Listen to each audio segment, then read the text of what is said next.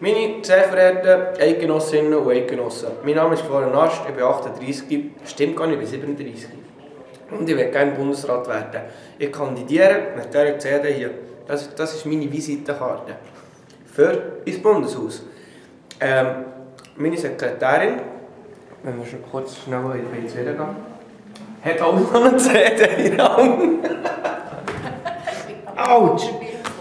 Ah! Und Ja, angeschlagen. Du bist jetzt der Erste, wir haben niemand gewartet, darum ist es so blöd. Ja.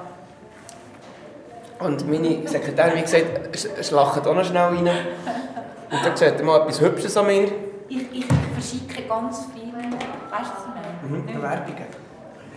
Und ja, wählt mich ins Bundeshaus. Ich werde der perfekte Bundesrat. Mal eine mit Rock'n'Roll. Hm? Silvia, ich noch etwas sagen? Was muss ich noch sagen? Äh, hier, Radio Top, Teletop, Top 2, Top Online, Florian Ast, Topstar. Vergessen mich nicht, hier ist meine CD. Und das andere war ein Witz. Das mit dem Bundesrat. Muss nicht unbedingt sein. Wobei, wenn es noch länger so weitergeht, doch 500'000 Stutz im Monat. Äh, im Jahr. Welches Departement? Departement, Departement M.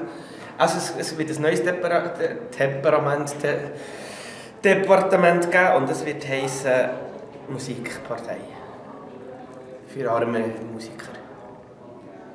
Und arme Musiker. Das die Ärmsten.